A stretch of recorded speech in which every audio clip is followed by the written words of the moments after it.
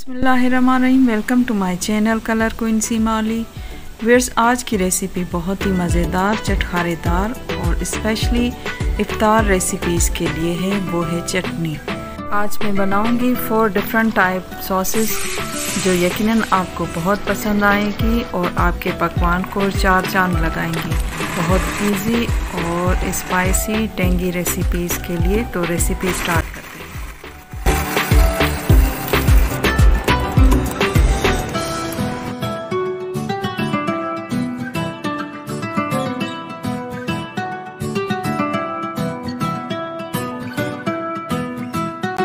Video पे जाने से पहले प्लीज़ सब्सक्राइब करें लाइक करें और शेयर करें। वीडियो पसंद आ जाए तो बेल आइकन प्रेस करें ताकि हर मेरी आने वाली वीडियो अब तक पहले पहुँचे। इमली की चटनी के लिए सारे इंग्रेडिएंट्स हैं और इमली को एक बाउल में मैंने 30 मिनट पहले पानी में भिगो के रखा और सोक किया और उसके बाद मैंने उसकी गुटलियाँ निकाल के और पल्प अलग कर लिया। एक पैन लेंगे, उसमें वन टेबल स्पून ऑयल के साथ वन टेबल स्पून ज़ीरा ऐड किया। थोड़ी देर साटे करने के बाद इमली का पल्प ऐड करेंगे और साथ में हाफ़ कप पानी भी वो भी ऐड करेंगे और बॉयल आने देंगे।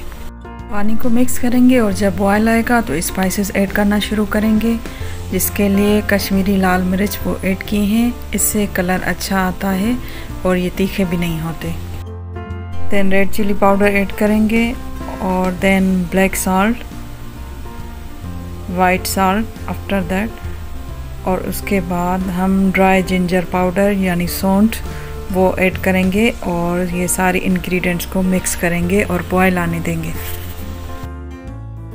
अब जब बॉयल आ जाएगा तो हम शुगर ऐड करेंगे। अब शुगर की मेज़रमेंट इतनी होनी चाहिए कि जितनी हम इमली लेंगे, उतनी ही शुगर होनी चाहिए। वन कप इमली तो वन कप शुगर और साथ ही मैंने टू टेबल स्पून गुड़ की शुगर वो भी ऐड किए। इससे जो टेस्ट है वो बहुत अच्छा आ जाता है। दोनों को मिक्स करेंगे, थोड़ा फ्लेम हाई कर देंगे ताकि शुगर का पानी ड्राई हो जाए। और जब ये थोड़ी देर पकने के बाद हम उसका दूसरा प्रोसेस स्टार्ट करेंगे। जब बॉयल आ जाएगा तो two table spoon corn starch यानी कॉर्नफ्लोर वो ऐड करेंगे और मिक्स करेंगे अच्छे से ताकि कोई लम ना बने। और फिर लो फ्लेम पर पकने देंगे, तब जब तक थिकनेस ना आ जाए चटनी में। साथ ही दो से तीन ड्रॉप हम लेमन जूस वो ऐड करेंगे। इससे जो सॉस है वो क्रिस्टलाइज नहीं होगी और जायका भी ख़राब नहीं होगा। तकरीबन फाइव टू एट मिनट में सॉस में बबल आने लगे हैं और थिकनेस भी होने लगी है। और जब ये कंडीशन आ जाए तो इसे चूल्हा ऑफ़ कर देंगे। नहीं तो सॉस बहुत थिक हो जाएगी और रखने के बाद और हो जाएगी। तो अब हम चूल्हा बंद करते हैं और डिश आउट करते हैं सॉस को।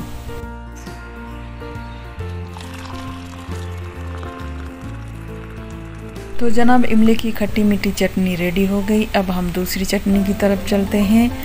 वो है येलो चटनी और उसकी प्रिपरेशन करते हैं। चटनी के लिए एक अलग पैन में वन टेबल स्पून ऑयल के साथ वन गिलास वाटर ऐड करेंगे, साथ में हल्दी साल्ट रेड चिली पाउडर और जो ख़ास इंग्रेडिएंट्स हैं इस चटनी का, वो है सिट्रिक एसिड यानी टाटरी पाउडर वो ऐड करेंगे।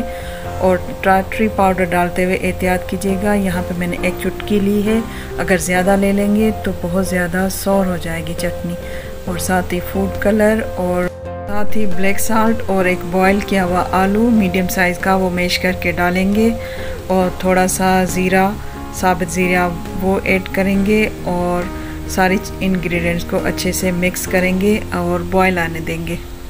और जब बॉयल आ जाएगा तो one table spoon corn starch यानी कॉर्नफ्लोर वो ऐड करेंगे और लो फ्लेम पर थिक होने के लिए रखेंगे जब तक चटनी थिक ना हो जाए।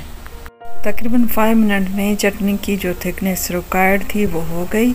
हमें इतनी थिकनेस चाहिए और उसके बाद फ्लेम ऑफ़ करके चटनी को डिश आउट करेंगे।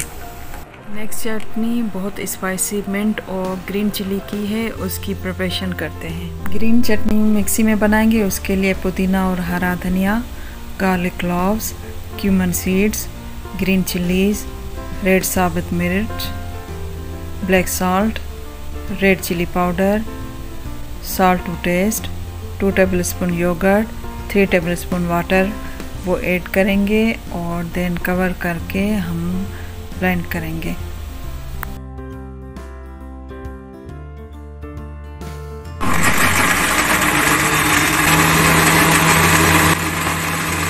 बहुत ही शॉर्ट टाइम में मिंट और ग्रीन चिलीज़ की हॉट स्पाइसी चटनी तैयार हो गई है और अब हम इसको डिश आउट करते हैं और जो नेक्स्ट हमारी फाइनल चटनी है, उसकी प्रिपरेशन करते हैं।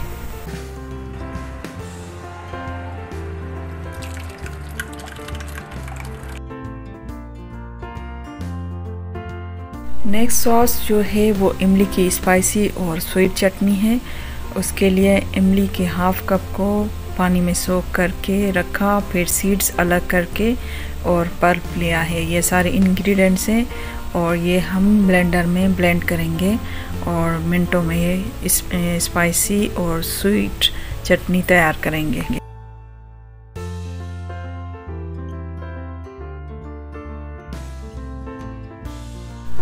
मिक्सी में वन कप इमली का पल्प ऐड करेंगे three two four green chillies और साबुत रेड चिलीज़ के जो क्रेश्ड चिलीज़ पाउडर वो ऐड करेंगे।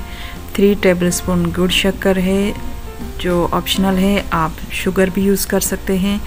क्वार्टर टी स्पून सॉल्ट है one teaspoon cumin seeds है टू गार्लिक क्लाव्स है और वन कप जो है हरा धनिया और साथ ही थोड़ा पुदीना मिंट वो ऐड करेंगे और पाँच से छः मिनट तक अच्छे से ब्लेंड करेंगे तो ये हमारी चटनी रेडी हो जाएगी।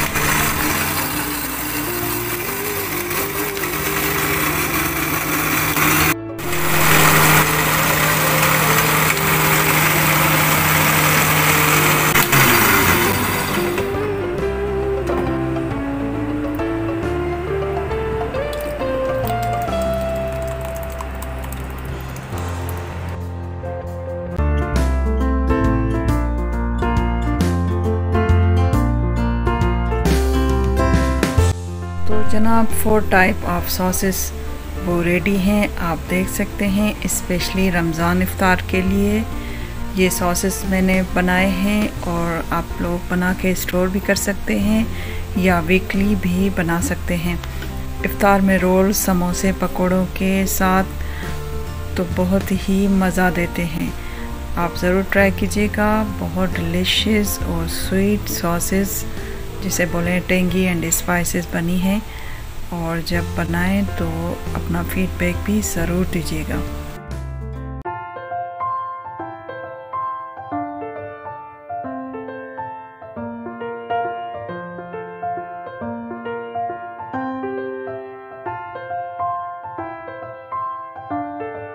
तो वीर्स ये थी आज की मज़ेदार चटकारेदार चटनी रेसिपीज़ उम्मीद है आप सबको बहुत पसंद आई होगी। अपनी राय का इजहार कीजिएगा। लाइक कमेंट शेयरिंग सब्सक्राइब करना मत भूलिएगा, अपना बहुत सारा ख्याल रखिएगा। इन फिर मिलेंगे एक न्यू रेसिपी लेके। टिल देन अल्लाह हाफिज़।